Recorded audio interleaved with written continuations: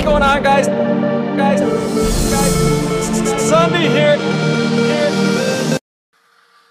Hey there, what's up? This is AJ170, and today I will be showing you how to screen record on iOS 8.1.3 with using the brilliant screen recording app called Shou. Extremely easy to use, extremely easy to do. You just hit the link and it'll automatically ask you to install. So first you want to go into Safari, or click on the link in the description.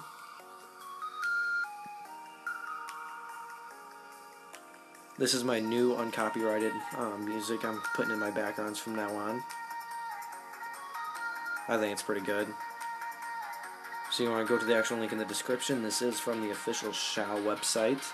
It'll ask you to install. From right here, you're going to click install. I already have it installed, so I'm going to hit cancel. Once it's all the way installed, once it's completely done, there should be an option to go and ask you to trust. You just hit trust, and that's about it to record, you just hit uh, you just hit start recording, which is where stop recording is, and there's a little eye right next to the little second thing. You change the settings. Your recordings show up in here. Those are these two right here. Like these are for my jailbreak things. You don't have those. You will have to create an account. It's simple to do. I linked it with my Google. That is the easiest way to do it. And that's about it. This is AJ170. Sign out. Please like, please subscribe, please hit that comment button, all the other great stuff.